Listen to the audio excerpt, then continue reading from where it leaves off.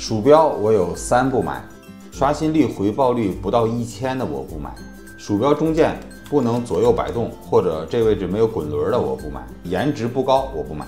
最近我又想买鼠标了，办公用，预算五百左右，如果特别好、特别适合我，一千也能接受。欢迎大家帮我参谋参谋。现在鼠标主要有两种，一种是打游戏用的，另外一种是办公用的。打游戏的鼠标一般都有一千赫兹的这个回报率，又叫轮询率，就是一秒钟能反馈一千次。这个不是那个 DPI 啊。但是，一般的办公鼠标，不论是无线的还是有线的，它都是一百二十五赫兹的刷新率。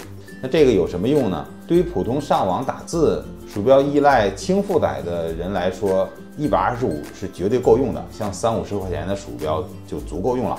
但是对于我这种频繁使用鼠标，我之前那个 G 五零二使了八年，这个位置都被我磨出了一个坑了。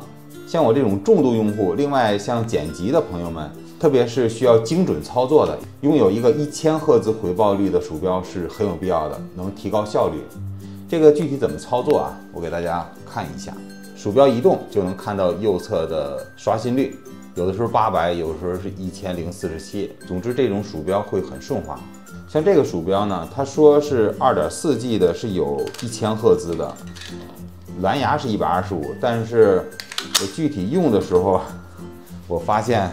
你们看，一般都是一百、一百一、一百二，很显然这就是一个一百二十五赫兹的鼠标。但是这个鼠标吧，我用的手感还不错，我感觉比蓝牙连接要稳。这个一千赫兹的回报率是一个很硬很硬的参数，我强烈建议大家看到这个视频之后测试一下自己的鼠标。我之前特别想买那个罗技的 Master 3S，但是就是因为这个一百二十五赫兹的问题，我给它放弃了。举个不太恰当的例子，这个一百二十五赫兹就好像咱们玩游戏的那个三十帧，这个一千赫兹就相当于是六十帧，顺滑很多。但是三十帧也能玩，总之玩的不舒服，看你玩什么游戏。像一般的游戏鼠标都配备了这个一千赫兹的回报率，不管是有线还是无线的，这是一个必备的参数。但是游戏鼠标中键不能左右掰，你看它这个中键两边有个小箭头，或者这位置没有滚轮。一般有滚轮的是办公鼠标或者人体工学鼠标，同时又有一千赫兹回报率，又有鼠标中键可以左右摆动，同时还有沾上点人体工学的。我目前就看见这一款，这是雷蛇的 Pro Click，这是很多很多年前的鼠标了，呃，也坏过，让我修好了，给刷了一个固件。最近这个微动可能又坏了，我准备去维修一下，但是我得有鼠标用啊。本来想用这个鼠标替代一下，但是现在看来替代不了，我还得再买一个，或者我再买一个同款。但是同款我觉得没必要，我想买一个罗技的，但是没有，或者买国产的，我又不是很懂。那天上网搜了一个叫什么日本的山王工业那个鼠标，我感觉还行，二百多块钱。但是我详细一问，人家都是一百二十五赫兹的。那这个中间左右摆动有什么用啊？给大家看一个例子，比如时间剪辑啊，下边这个时间线很长。